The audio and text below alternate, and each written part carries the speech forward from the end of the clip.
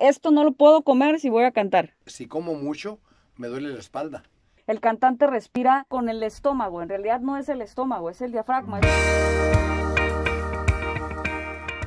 Este es un poquito del, del trabajo que se hace en el estudio, ¿no, don Pedro?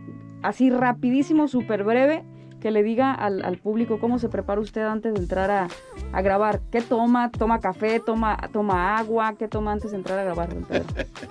De, de hecho, todos los días me tomo 36 onzas de agua caliente con poquito limón. ¿Qué obole, eh? Un limón, un limón en cada 16 onzas y pues ahí lo estoy, lo estoy saboreando poquito. Ahorita ya me lo acabé aquí, pero pues ya no voy a grabar. Ya ahorita ya, ya, se, ¿Alguna- ya, ya se fueron los gallos. ¿Alguna comida o algo que usted diga, esto no lo puedo comer si voy a cantar? Bueno, cuando normalmente cuando voy a, por la edad, cuando voy a cantar, si como mucho, me duele la espalda. Entonces ya estoy incómodo.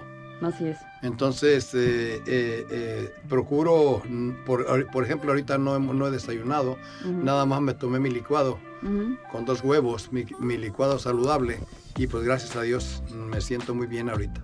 Así es, y es que eso tiene que ver porque el cantante, vamos a decirle al, al público, hay que informarle un poquito, el cantante respira, eh, se dice vulgarmente o coloquialmente con el estómago, en realidad no es el estómago, es el diafragma, es un músculo que tenemos justo debajo del huesito del esternón, Sí. justo debajo de las, de las costillas o del centro de las costillas. Entonces, cuando uno come, ¿qué es lo que pasa? Pues el estómago se llena, ahí sí, las vísceras se llenan, el estómago se llena y el espacio para que se mueva el diafragma es más chiquito. Es más chiquito y ahí se oye lo débil cuando se le cae a uno la voz. Exacto, entonces a uno le cuesta mucho trabajo respirar cuando, cuando uno recién come. ¿eh? Es. Ahí está el tip informativo de este videito para que, para que para toda la gente que le gusta cantar, ahí le dejamos este tip. Don Pedro va a grabar su videito, ya nos vamos, lo voy a dejar y bueno, al ratito o en, este- en la semana me toca a mí grabar la misma canción. Saludos, mi gente preciosa. Ahí les encargo el apoyo para Ángela Ponte y Jocelyn Tamara, los nuevos talentos de Cintas Acuario.